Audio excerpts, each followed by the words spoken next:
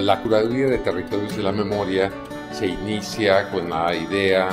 de generar un discurso sobre las artes de México a partir de los años 80 y hasta el presente. La idea original fue ah, tratar de que diferentes generaciones se integraran en una manera en la que pudiéramos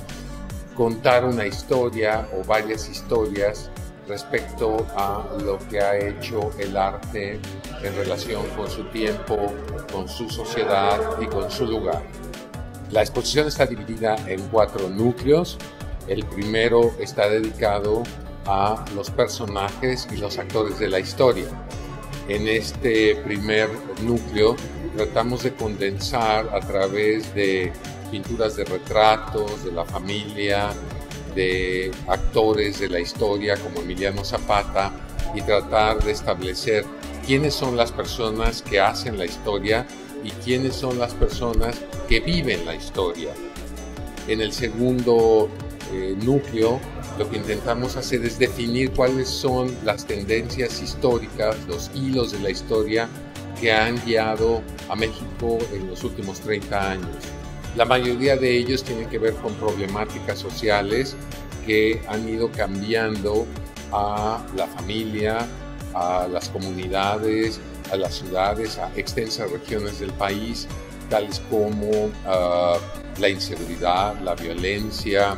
pero también la forma en que la sociedad ha ido cambiándose a sí misma a través de la apertura hacia las diferentes preferencias sexuales, cómo se ha modificado ah, la estructura familiar a través del cambio de la noción de familia, matrimonio, pareja, etc.